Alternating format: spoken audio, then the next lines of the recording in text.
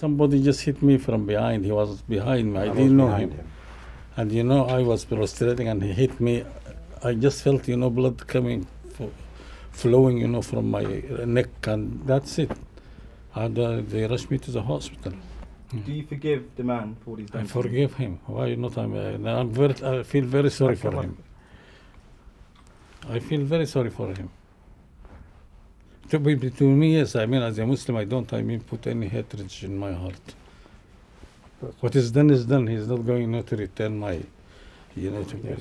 Well, I was shocked when I heard about the attack at uh, the London Central Mosque. Uh, I think all places of worship in our city, whether they're mosques, synagogues, churches, temples, are sanctuaries. They're safe havens where you should be able to worship without fear of being uh, attacked. Fellow members of the congregation helped the police by pinning this man down. He wasn't attacked, no retribution. Uh, the police and uh, ambulance services arrived very, very quickly.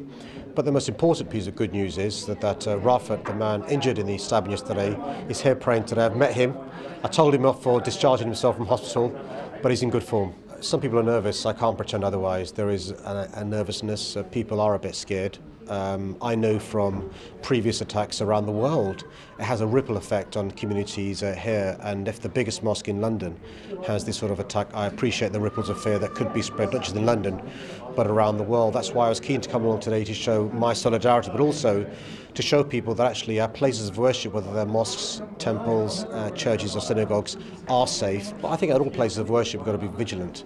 I know from speaking to friends in the Jewish community that the Community Security Trust does a great job keeping synagogues uh, safe at a time of uh, an increase in uh, hate attacks.